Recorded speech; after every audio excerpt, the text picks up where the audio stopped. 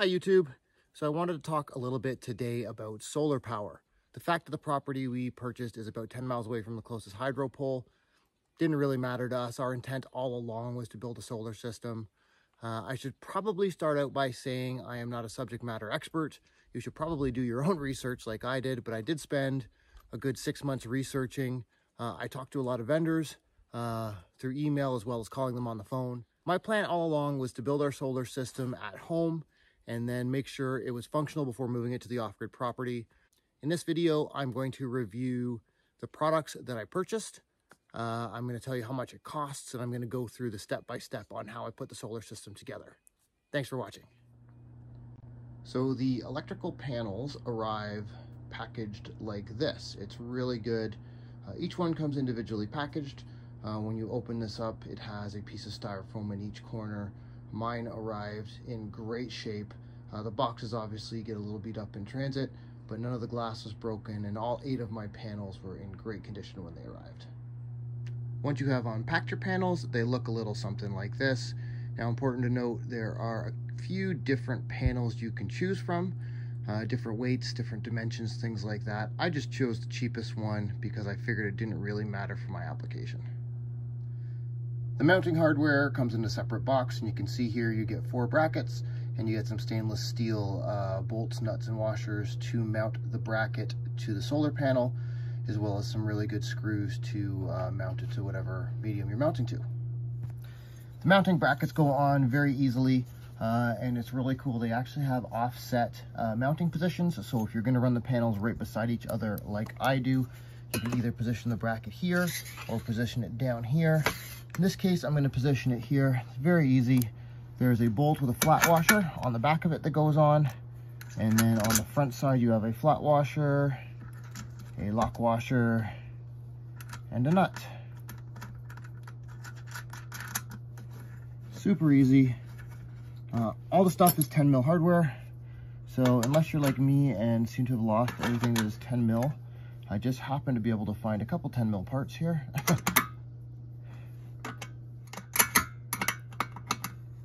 and then just snug that up. And your panels will look something like this once all the mounting hardware has been attached. So Renogy has all kinds of solutions for how to mount your panels uh, to get them positioned properly to face the sun. Uh, multi-panel solutions, single panel solutions, uh, all a little bit too expensive for my blood. So I decided to make my own. I just used some pressure treated 2 by 2 by 8 foots. Uh, you can see I've built a frame here that is 46 inches by 84 inches.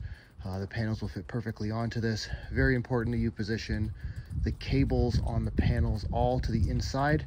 Uh, that way they're easier to make a connection. And the finished product looks a little something like that. Really love how you can offset the center mounting brackets on this to have your panels line up perfectly.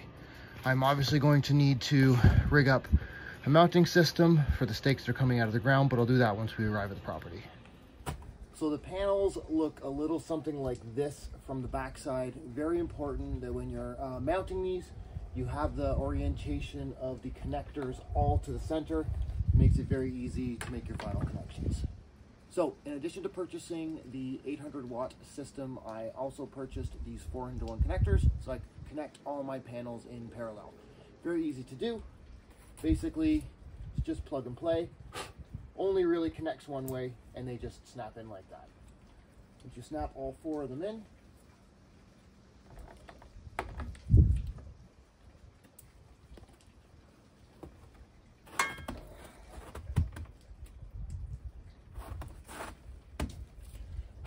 then leaves you with one connector to run back to your solar charge controller. Next, you'll need another 4 to 1 connector to make the same connectors with the negative side of the panels. And again, it's very easy, just snaps in. And leaves you with two very easy wires to run back to your solar system, one positive, one negative. Obviously, when I connect this up at the off-grid property, I'll clean these wires up, I'll tie wrap them off to something just to make them nice and neat and tidy. Also important to note that part of the Renogy kit that I bought included this fuse, which runs on the positive line from the panels back to the solar charge controller. This guy right here is the heart of the solar system. It is a 12 volt, 200 amp hour lithium ion phosphate battery manufactured right here in Canada by a company called CanBat. Now this type of battery is more expensive than a standard lead acid battery, but it also has the ability to just charge all the way down to 0% without being damaged, whereas lead acid batteries can only discharge to around 50%. Uh, if you discharge them past that, they will get damaged. This battery is a little bit more expensive for two reasons. One, lithium ion batteries are generally more expensive than lead acid because they last a lot longer and you don't need as many of them in your system. And two, this particular battery is designed with a heating system on it so it can discharge and charge down to minus 20 degrees Celsius, whereas most batteries will be damaged if you try to charge or discharge them under about the freezing mark. Uh, CanBat does have a battery uh, that does not have that feature, and in that, that case it is a little bit cheaper. This unit cost me $2,400. It is the most expensive component of my system. I ordered it online and received it about a week later. Uh, no issues with CanBat. I called them, I spoke with them on the phone about what battery I should pick. Just a great company to deal with. My experience with them was very, very positive. Very happy to buy Canadian product as well. So I purchased the 800 watt solar kit from Renogy. It was the premium kit. As you can see from the website, the kit sells for just under $1,800 and includes a lot of great parts. I think this is a really good deal. In that kit, you got your 60 amp MMPT charge controller, along with your 800 watts of solar panels, uh, along with some of the mounting and connecting hardware that puts everything together. A lot of the wiring came with it. I did, however, need to purchase a few odds and ends, some various connectors and whatnot to uh, connect everything up together. I read a lot of negative reviews of Renogy online, but my experience with them was very positive. Uh, I ordered my system online and had it mostly delivered within a couple of days. Uh, I was missing one of my packages, uh, but when I reached out to them, I had a response immediately and the package arrived shortly thereafter. In addition to the solar kit, I also purchased a 2000 watt Renogy pure sine wave inverter. This is the mechanism that takes your DC energy and makes it AC so you can power certain things at the cabin. I'm gonna run most of the lighting uh, on 12 volt DC, but this will be great if we wanna bring a television or a coffee maker or something along those lines. This is probably bigger than I need, but again, my goal was to build the system a little bit oversized so I'd have room for expansion later on. So the Rover Charge controller is super easy to use. It has two screws that hold on the bottom panel. Once you remove those screws, the panel can easily be removed. Once you have that panel removed, the connection points are clearly marked. On the left-hand side, you have your PV plus and minus. That would be the photovoltaic or the leads coming in from your solar panels. And then to the right of that, you have both your battery leads and a load lead.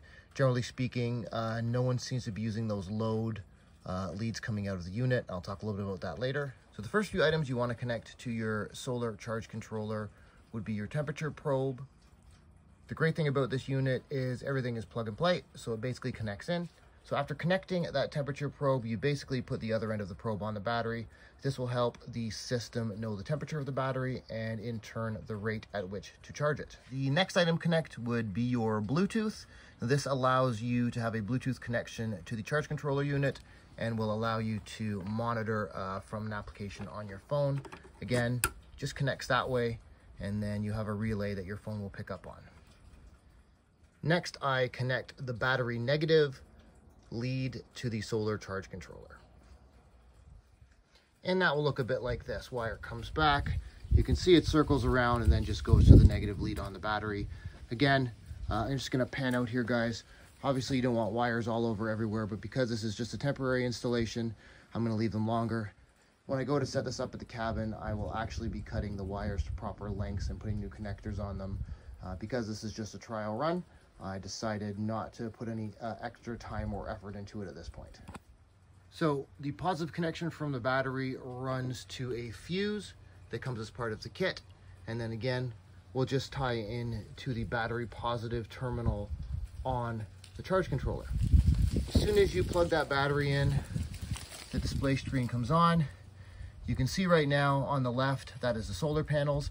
Because I have no panels connected, it is telling me it is nighttime and there is no photovoltaic energy coming in. You can see my battery is right now at 76% and running 12.7 volts. There's quite a few cool features to this. You can scroll through, set battery type. Uh, there's all kinds of history screens and whatnot. Also a little bit farther up, it has trouble lights on it. All in all, this system has worked well. This is the second time I've hooked it up. I hooked it up once when I first got it, just to make sure all my components worked. So the next thing you would connect at this point would be your solar panels. Very easy, uh, very similar to connecting the batteries. It's basically just one set screw that connects them in. We've already connected up our solar panels at the other end, so we just need to connect them up here now.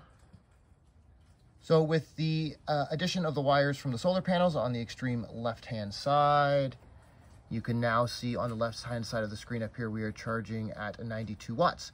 19.9 volts and my battery is at 85%. Uh, this is of course only using four of the eight panels and it's not that sunny here today. I've seen this charge into the high 100s. Uh, it really loads this battery up relatively quickly. The last component left to install is the 2000 watt pure sine wave inverter. This is the mechanism that takes the DC energy and makes it AC energy. At this end, you have a positive and negative that connect to the positive and negative on the battery terminals. And on this end, we have three 120 volt AC outlets, as well as an on-off switch. This inverter also has a secondary wire that can be run off of it to an on-off switch. The idea behind it is, is that if you're not using AC power, you probably want to have your inverter shut off so that you're not drawing that little bit of power that the inverters draw. They have fans in them and things like that, so they'll constantly be drawing the DC power. Before making any connections downstream of the charge controller, you always want to make sure you do not have the panels uh, plugged in. In this case, I've just disconnected the negative terminal just to make sure that there's no power coming in. Now you will always get a bit of a spark when you connect the negative of the inverter to the negative of the battery. This is completely normal. My understanding is that the inverters have some capacitors in them so they hold a little bit of charge, which just charges when you touch it. What I like to do is spark it and then make the connection. And it jumped. I also purchased a 12 volt fuse block on Amazon. Uh, this will connect to the positive and negative leads on the battery and run all the 12 volt uh, lighting and whatnot in the cabin. As you can see, I was able to purchase my uh, solar system for less than $5,000. Uh, I think this is a really good deal. It will be free power. And that's how I put together the solar system. Uh, for me, I think it's going to be perfect for the application that we need. If there's an increased requirement for power over time as we build things around the property, I can always add another battery to the system. Uh, my intent all along was to oversize the system a little bit uh, and have capability to expand down the road. If you have any questions about building your own solar system or the products I bought, please feel free to leave me a comment or you can email me truenorthoffgrid at gmail.com. Anyway, guys, that's going to be it for today. If you like the video, please smash that like button and subscribe. I'm trying to get the subscriber count up a little bit. I will do some more videos on solar once we get the system to the property and once we start putting the wiring in for the cabin. I'm super excited about all this kind of stuff, as I'm sure you guys can tell. Thanks for watching, guys. Have a good day.